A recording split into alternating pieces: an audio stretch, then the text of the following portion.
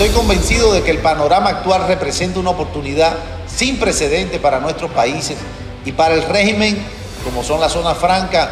en toda la región de Iberoamérica. Este es el mejor momento para impulsar una mayor cooperación e integración a nivel regional, potenciar las exportaciones y el comercio interregional, atraer nuevas inversiones, generar nuevas cadenas regionales y aumentar su participación en cadenas globales de valor, especialmente en aquellas identificadas como críticas para los Estados Unidos.